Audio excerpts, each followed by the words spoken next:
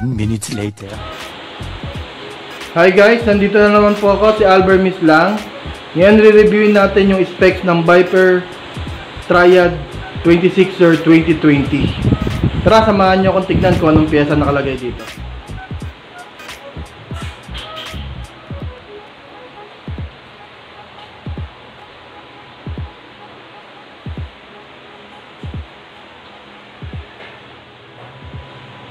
Yan guys, yung gulong niya, Wanda King 26er by 1.95. Ang port niya, Viper. Manual lockout na siya. Lock extension. Front hub niya, quick release, naka disc brake. Yan guys, may kasama na siyang Viper na bar end. Shifter niya, Shimano. Rapid fire na 7 speed. Yan guys, Viper yung kanyang handlebar. Stem niya, Viper.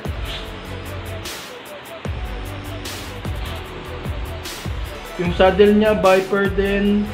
Yung seat post niya, stock lang. Crankset niya, stock lang ng Viper. Yan po ang kanyang pedal.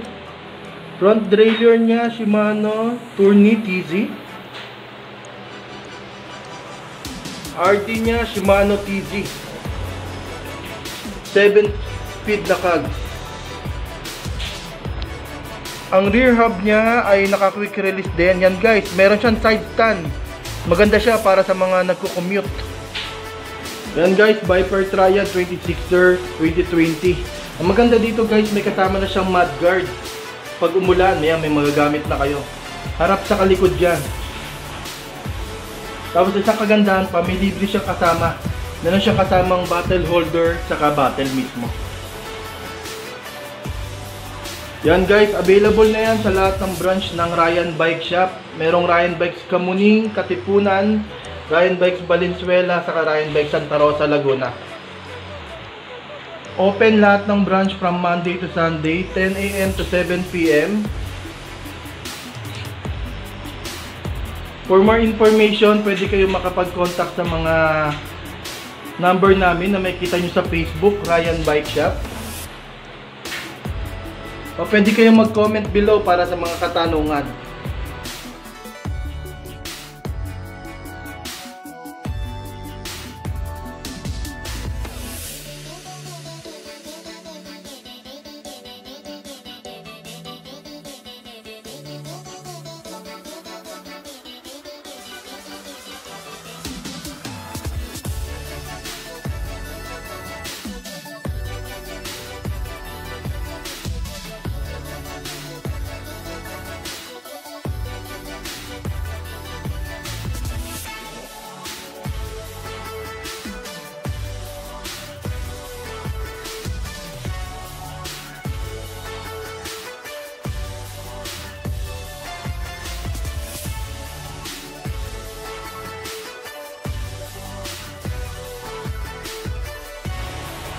Yan guys, tapos na ang ating vlog. Maraming maraming salamat sa lahat ng nanood ng aking vlog. Uh, sa mga gustong makapanood pa ng mga bike na mabablog ko, pwede kayo makapag subscribe sa akin, saka click nyo na rin yung notification bell para updated kayo sa mga bike na papakita ko. Salamat po!